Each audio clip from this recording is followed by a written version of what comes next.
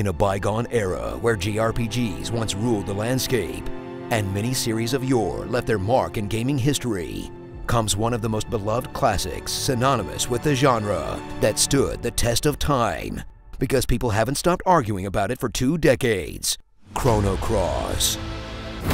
Uncover the early era of the JRPG as Chrono Trigger quickly became a genre classic simply because it was created by basically everyone making RPGs in that era, and also because the Dragon Ball guy did the box art.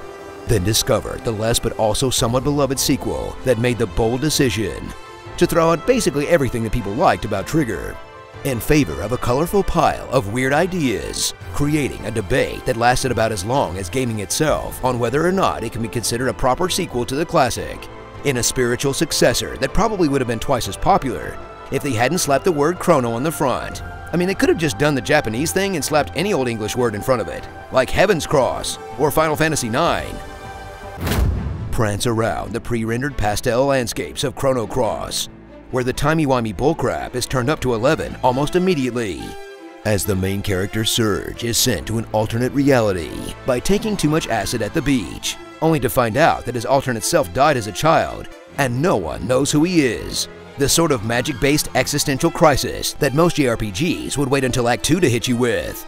As he grabs his signature weapon, which is somewhere between a polearm, a Q-tip, and those things they fought with in American Gladiators, gathers a horde of mutuals to stop the plot of an evil computer and some sort of dimension-shifting furry in a narrative that might not quite live up to its predecessor, but still does the traditional Chrono series thing, beating the ever-living crap out of everything until you fix time.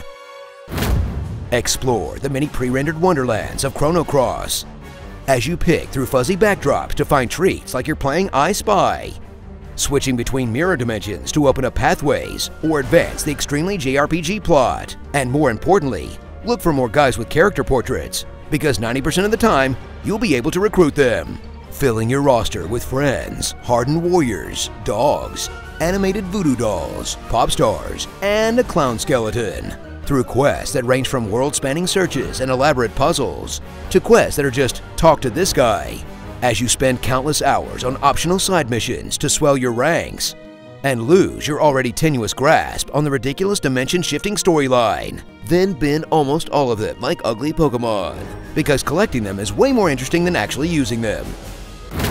Experience the many strange choices of Chrono Cross's combat, where they junk the snappy active time battle of Trigger for a strange system where you do combos with different attack speeds that determine how much time you give the enemies to attack, but that also charge up your elements? Plus magic spells and abilities you socket into a grid to do the real face melting, that in turn affect the elemental status of the battlefield. Look, none of that really matters. The combat is easy enough to just mash the attack buttons until a late game boss. Then you're screwed.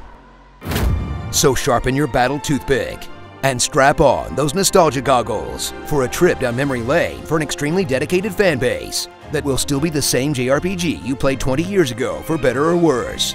Let's be real, everything with the music has aged about as well as Square investing in NFTs. Starring Blue Eyes White Guy. That Bratstall has a knife. Cat in the Hat. Put some damn pants on. Died from too much Clussy. Voodoo Vince cooler when he was a frog. What if Robo was anime? And like every antagonist in the game, I'm Chrono Triggered. Look, I know that they might be overdoing it with 40 plus characters, but it really doesn't get better than a mushroom man named Funguy. You can't find that with a reasonably sized cast. Tell us what you'd like to hear in my epic voice in the comments below. Memes Jack, the DNA of the soul. A pilot like you only appears once every generation, and I've shut every one of them down. I've blown more cartridges than you could possibly imagine. The more I understand humanity, the more I love my dog. Who the hell poops in someone's bed? Objection, hearsay.